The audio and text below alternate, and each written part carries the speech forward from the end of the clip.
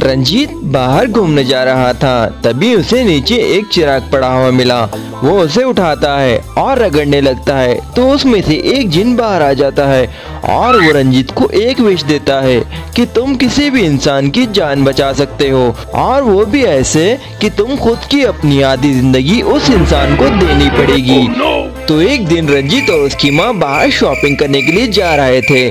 तभी अचानक एक कार तेज़ी से आई और उसकी माँ को टक्कर मार के चली गई। उसकी माँ वहीं पे मर गई। रंजीत बहुत ही दुखी हो गया और उसने विश मांगी। वो अपनी आधी ज़िंदगी दे के वो अपनी माँ को बचा लेगा और उसकी माँ बच जाएगी। रंजीत के पापा काफ़ी दिनों से बीमार थे और वो हॉस्पिटल में थे। एक दिन उनकी हॉस्पिटल में ही डेथ हो गई। रंजीत अब उन्हें भी बचाना चाहता था तो वो फिर से विश माँगता है और अपनी आधी ज़िंदगी भी उन्हें दे देता है। वो सोचता है कि अब तो वो मर जाएगा, क्योंकि वो दो लोगों को आधी आधी ज़िंदगी दे के बचा लिया, फिर भी वो नहीं मरता और उसके पापा भी ज़िंदा हो जाते हैं। दोस्तों, क्या आप सोचकर बता सकते हैं कि आखिर रंजीत अपनी आधी आधी ज़िंदगी देने के बाद भी मरा क्यों नहीं? बल्कि उसने तो अपनी मम्मी और पापा दोनों को बचा लिया। जल्दी से इसका जवाब सोचिए और अपना आंसर मुझे नीचे कमेंट में बता दीजिए। दीजिए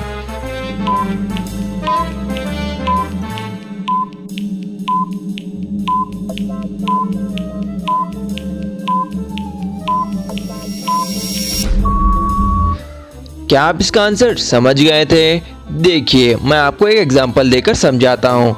अगर रंजीत सौ साल जीने वाला था और उसने अपनी मॉम को बचाया तो आधी ज़िंदगी गई यानी हंड्रेड बाई टू यानी उसके बाद अभी भी फिफ्टी इयर्स बचे हुए हैं और अब जब अपने पापा को बचाएगा तो उसकी और आधी ज़िंदगी जाएगी यानी फिफ्टी इयर्स में से आधी फिफ्टी बाई टू यानी ट्वेंटी फाइव चली जाएगी मतलब उसके बाद अभी भी ट्वेंटी फाइव ईयर्स बचे हुए हैं। जीने के लिए, समझे?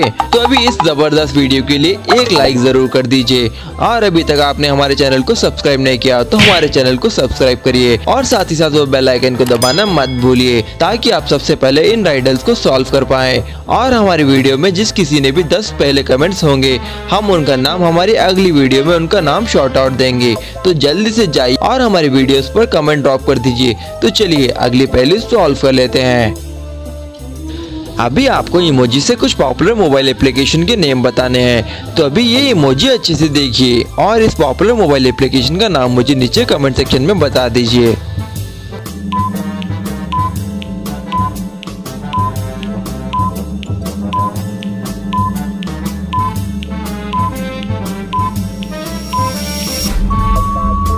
इस एप्लीकेशन का नेम है पेटीएम पे टी एम तो बन जाएगा पेटीएम क्या आपने भी आंसर गैस कर लिया था? तो अभी मुझे से इस एप्लीकेशन का नाम बता दीजिए। अच्छे से देखिए, अच्छे से सोचिए और अपना आंसर मेरे नीचे कमेंट कर दीजिए।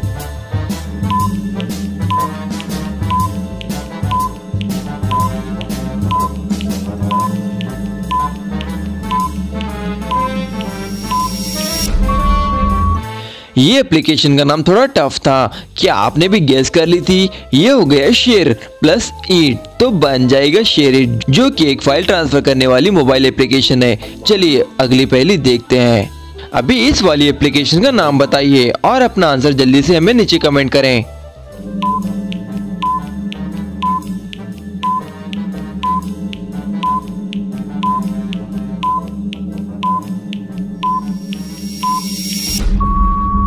क्या आपको इसका आंसर पता चला? ये है hot star hot plus star तो बन जाएगा हॉट स्टार तो अभी इस वाली मोबाइल एप्लीकेशन का नाम बताइए और जल्दी से इसका आंसर हमें नीचे कमेंट करें।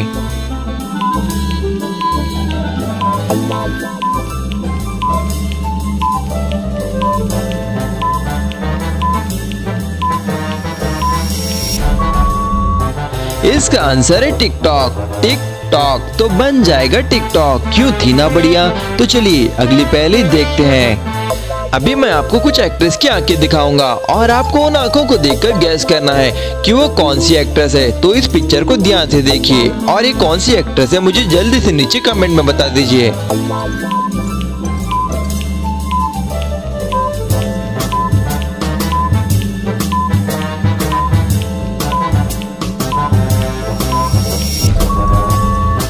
क्या आपको पता चला ये कौन सी एक्ट्रेस है? ये है माधुरी दीक्षित। क्या आपने भी ये गेस कर लिया था?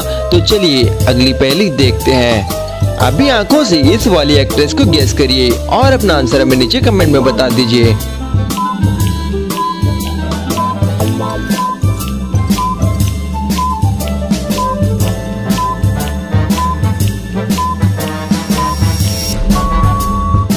ये है ऐश्वर्या राय। क्या आपने भी इसका नाम गेस कर लिया था? तो अभी इस एक्ट्रेस का नाम बताइए और आंसर हमें नीचे कमेंट करें।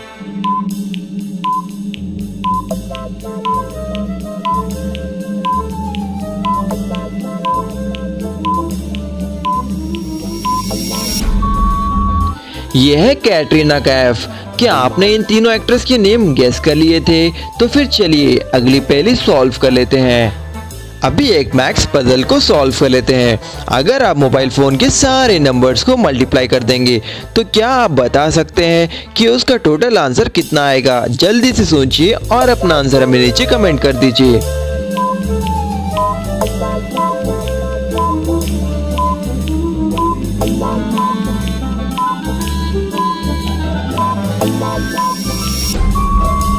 क्या आप मल्टीप्लाई करने लग गए थे? One into two into three into four लेकिन क्या आपने इस शातिर नंबर को देखा? ज़ीरो भी यहाँ पे है। कितने भी नंबर होने के बाद भी ज़ीरो से मल्टीप्लाई होने पर वो पूरा नंबर ज़ीरो ही बन जाता है। तो इसका सही आंसर है ज़ीरो। यही तो खास बात है हमारे इंडिया में इन्वेंट हुई ज़ीरो की। क्या आपको पता है ज़ीरो का इन्वेंशन किसने किया है? ये तो आप मुझे कमेंट में ज़रूर बताएँ। पहले पाँच लोग इसका सही आंसर देने मैं उन्हें वीडियो में शॉर्ट आउट भी दूँगा। तो जल्दी से इसका आंसर हमें नीचे कमेंट में बताएँ। तो चलिए आज के आखिरी पहले सॉल्व कर लेते हैं। दोस्तों, इन तीनों लड़कियों को ध्यान से देखिए। ये तीनों ही बाथरूम में है। तो दोस्तों, क्या आप इन तीनों को देखकर बता सकते हैं कि आखिर इन तीनों लड़कियों में से कौन सी लड़की पागल है? इन्हें अच्छे से देखिए, सोचिए और अपना आंसर हमें नीचे कमेंट में बताएँ।